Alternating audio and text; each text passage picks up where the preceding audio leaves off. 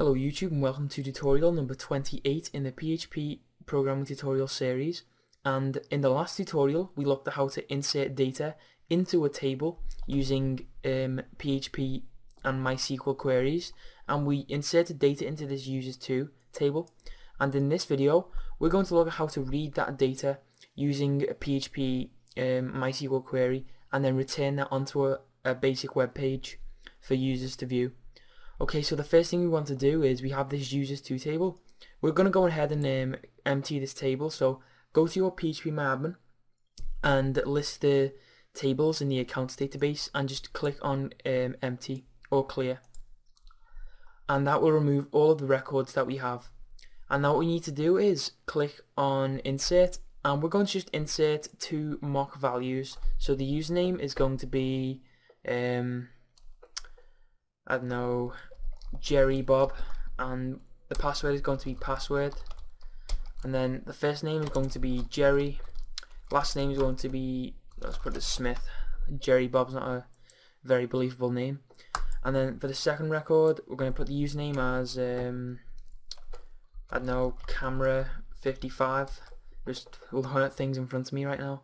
Um, password will be password 5 the first name will be John and the last name will be um, Adam. So we've got Jerry Smith and John Adam and we'll just hit on go down here. Okay, so we've inserted two mock results into our database. So we just go back here um, and we have Jerry Bob and Camera 55 in our database ready to be read by our PHP code.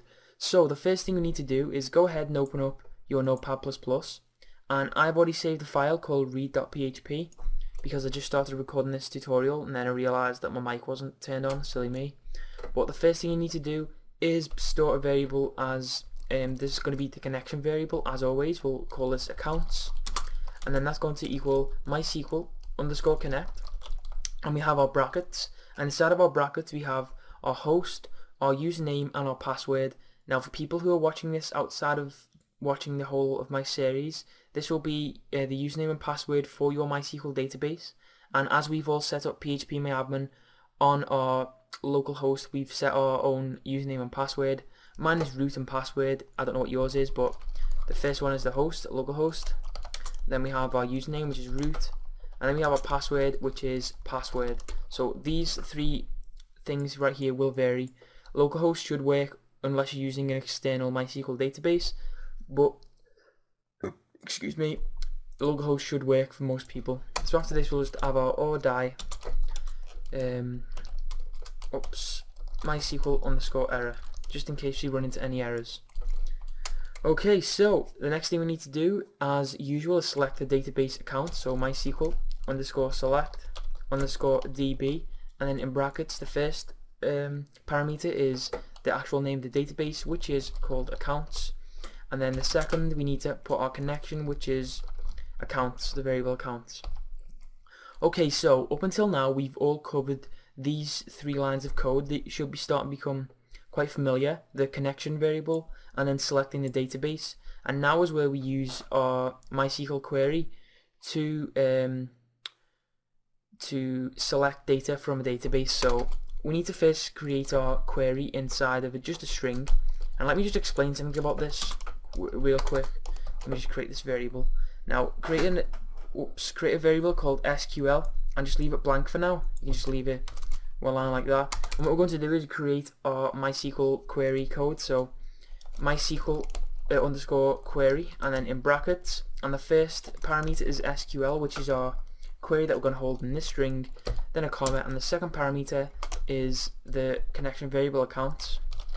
Okay, so I want to just get something um, clear.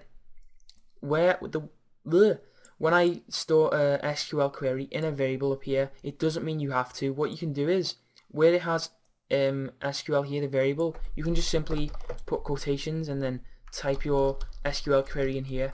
But the reason I store it in a variable up here is because it looks much more understandable and more readable to the eye. So this, you don't have to store it in a variable. You can just put it in, in quotations inside of the brackets. but I find it's easier to just have a variable there and um, you know it's it's less confusing and it's easier to edit so um, now that I've got that out of the way what we're going to do is create a query that will return some values inside of our database so first thing we need to do is specify our MySQL query now you remember how the MySQL queries work? You know they're pretty much just like plain text. They're quite um, logical the syntax of the code. And for this all we need to do is type select and then a space. And what we could do here is type each field each um, field name in sorry each column separated by commas. But what we're going to do is just type a star sign. And what this will do is select each every single column from this table so it's going to select all of the all the columns. So we've got um we have ID, username, password, first and last. So it'll select all of them. And then we just type from. And now we need to specify our table. And in our case the table is called users2 but you might obviously have a different table name so make sure you customize that according to your MySQL database. So now that we have our query set up here but there's one change we need to make from all the other tutorials what we need to do is we need to store the response from this query inside of a variable. So just here we just type make a variable called result and just specify that to MySQL query and then we've got a query here. So if we just go over what we're doing here um, we've obviously connected up here you guys know what that means and then we've selected the database accounts inside of this connection. But here what we've done is we've made a new uh, MySQL query and it just says select everything from the table users2 and we just run our query here we run this query in the connection of accounts okay so the next thing you need to do is actually read this response. Now, it's not how you think. It's not all, you know, just a line of text showing all the results. It's actually, um, this data is stored in something that we can't read through plain text.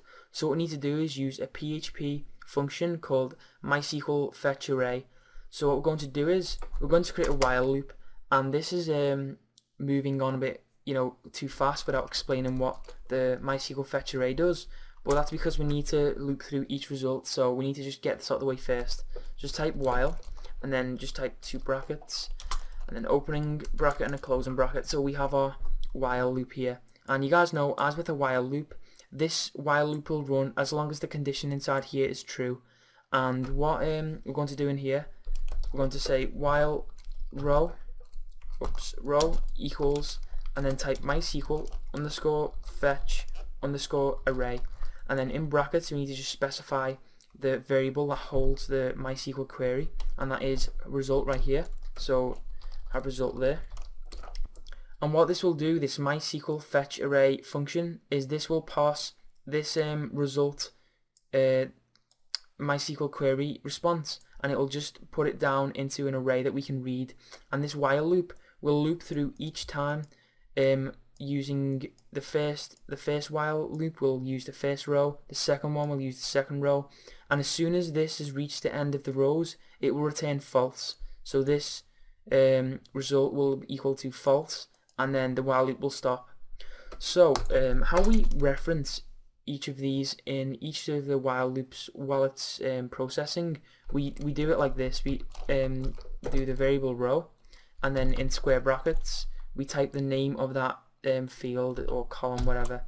So let's say username.